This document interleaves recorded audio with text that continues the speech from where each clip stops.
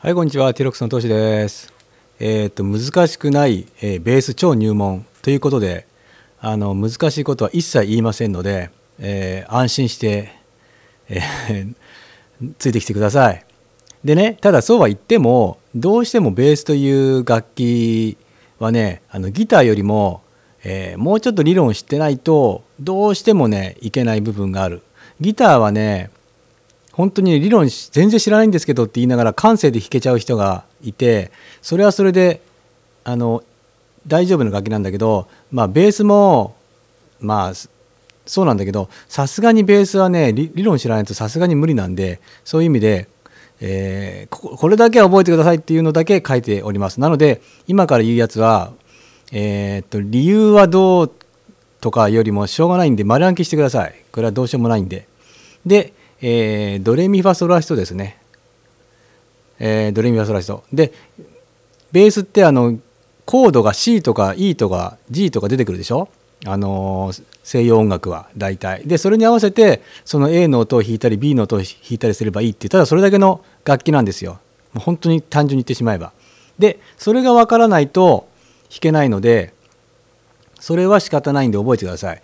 で、ドレミファソラシド。これがえー C, D, E, F, G, A, B, C。A, B, C, D, E, F, G になります。えっと、このラのとこから分かれるんだけど、なぜか。で、これを日本語にすると、えっと、いろはにほへとです。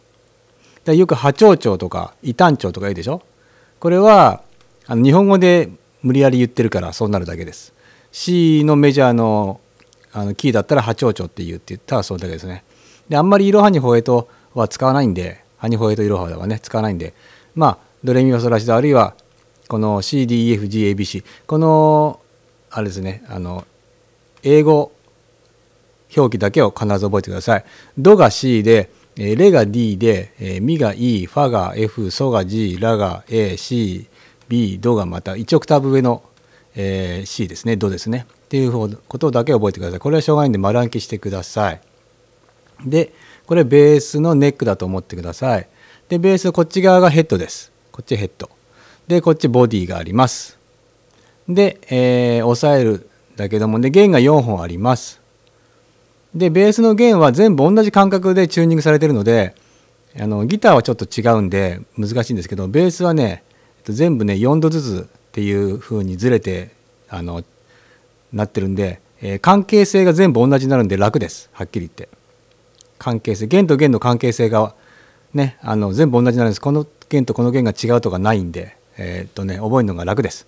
でもう本当にねこれだけ今この赤に書いてあるだけ特にここだけ覚えてくれれば大丈夫です。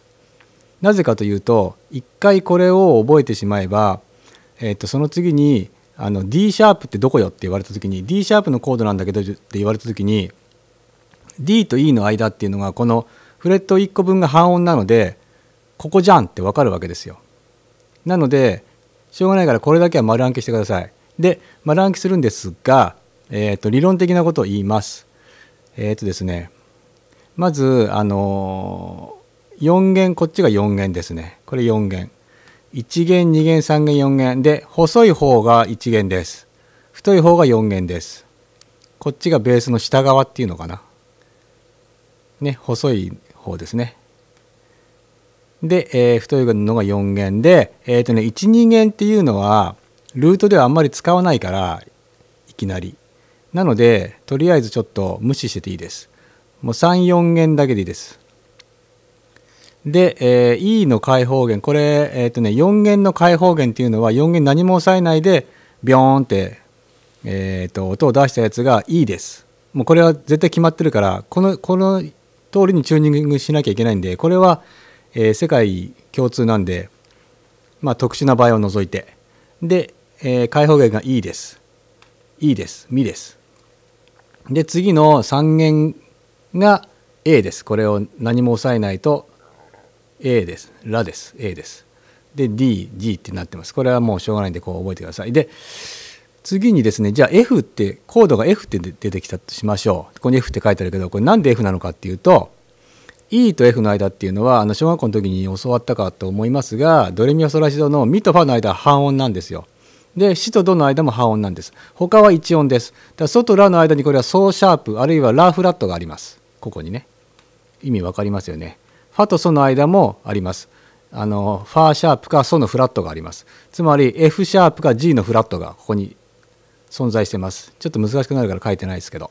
でじゃあ F コードだよって言われた時にすぐに分かるのはもしこれが全部忘れちゃったとしてもこの E の開放弦だけ覚えていれば、えー、と E の開放弦の次が F だったよなとファだったよなドレミファソラシドファだよなって覚えてればでしかも E と F の間って半音だったよなって覚えてればこの F っていうのが導き出されるわけです。この E がねあの分かってれば。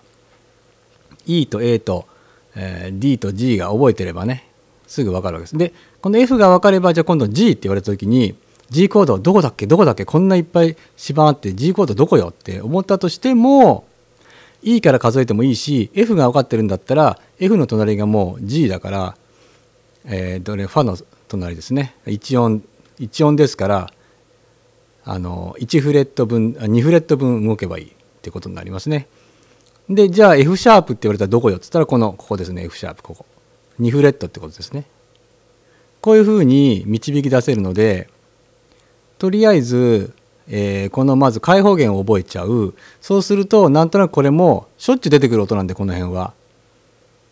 そんな難しくない。D もそうなんです。A から見て A、えー、っと B までが1音でしょ？で B から C が半音なんで半音でしょ？で C の隣が C シャープになる。それで D になりますからね。この C の隣。この C の隣が D ですからね。これ D になります。でその次が E E ですねこれ。多分これはねあのー、もう弾いてるうちに、ま、暗記しちゃいますきっと。あの忘れろって言ってもなかなか忘れられないんで。でこれさえ覚えちゃえばほとんどの曲弾けます。なぜかというとこれ今8個音があるんですけどねドレミソレトっていうのは。ここにももうすでに CDE FGABC もうこの中でも8個ありますから音が。ね。でこれはね12フレットちょっとこれおまけなんですけど12フレットまでいくと1オクターブ上がりますから。えー、と1オクターブ上がった音がこのこれの A の1オクターブ上がここ D の1オクターブ上がここでこの E もよく使いますね。あまあいいやここはここはちょっとおかずで使うんであんまりあのいきなり一小一小節目のあの頭をここはあんまり使わないんでね。これちょっとおかずで使うからでもここ覚えておくとかっこいいよって。A 弾いた後ブイーンってこっちが上がるとただただ単純にかっこいいよってたらそれ だけなんだけど。簡単なくせにかっこいいよっていうねそんだけ。だから覚えておくと便利です。12フレット。でえっとねあとね1オクターブって今言ったけど1オクターブっていうのは関係性もこれもまた楽でこの A がこうだとしますね。このね 5, 5フレットね、えー、っと4弦の5フレット。でここと斜め上です。な1個弦が飛んで斜め上が1オクターブ上の A です。この A のこの音と同じのが、えー、ここに存在しています。7フレットの、えー、2弦ですね。ここに存在してますね。この関係性でいくと。同じ音です。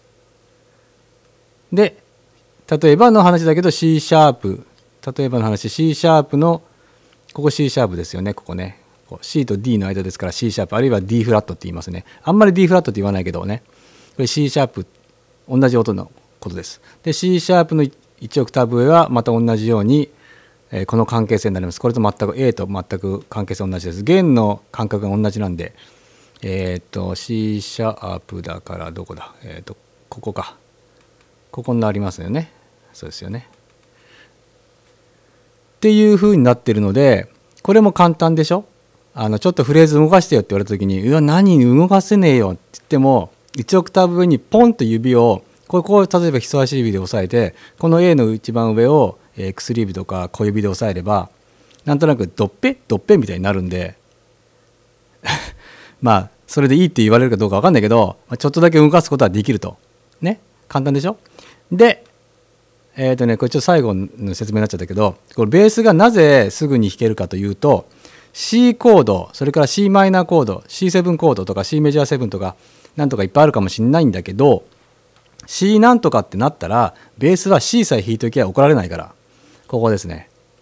まあ、違うとこにも C 存在しますけども一応ここだとしてねえー、ここに存在あここここに存在するかなんだけどもあのー、ギギタリストが C マイナーだよとか C7 って言われても C さえ弾いときゃここさえ押さえとけば絶対文句言われないので楽なんです。